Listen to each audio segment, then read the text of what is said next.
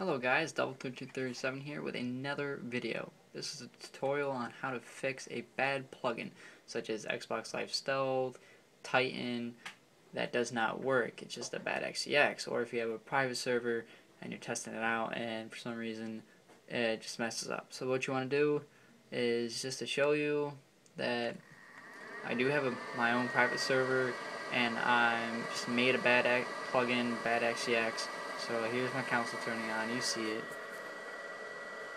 Alright, so Xbox is uh, loading up. Turns off, alright? You see it. So now what we want to do is unplug unplug your hard drive. You see mine's unplugged right there.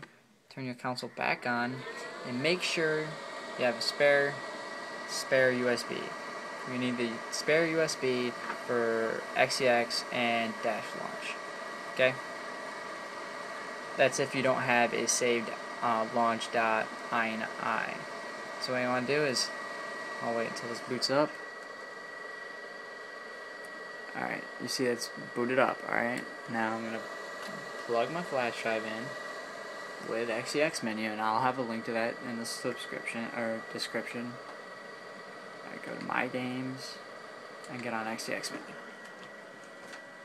Now you could either say get uh, Dash Launch or uh, another INI, I guess. So what I do is either have, I'm just going to use a different INI so that I have. What I do is copy and just paste it onto your root of your USB. Alright, so now, now what you want to do is turn off your console, um, plug back in your hard drive. Alright, so now it's plugged back in. See, plug back in. There's my console again. And now I'll just wait for it to boot up.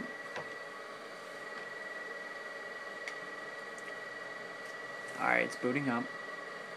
And uh, it should either pause for a second or boot straight back into the sign in menu. Alright, so you see it? Sign into an account, doesn't really matter. Go back over, go into XEX menu again. Now, this is where you're going to need Dash Launch. So I'll put a link to that in the description. I'll put uh, 3.07. Alright, so you see, that, you see it? It deleted the online.xex off of uh, your plugin status. So basically, just to make sure that it's not going to put it or re-put itself back on, you want to go back to XEX menu.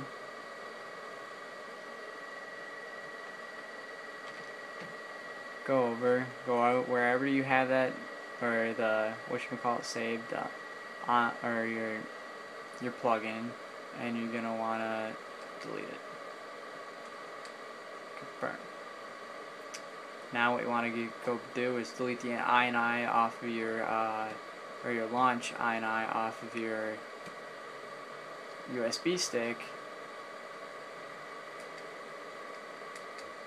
Confirm. Turn off your console. Turn it back on, and it should boot up normally. And you should have all the all your plugins back in, but if not, just save them back or put them back onto your plugins. I guess I don't know. Actually, explain. Alright, should stall out or start right back up, and you see religion, and go back up your games. But it doesn't matter what version of XEX menu you're on. And go to your plugins.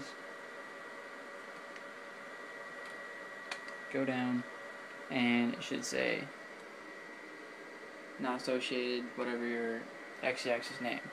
Alright guys, um, like, comment, subscribe, and peace out.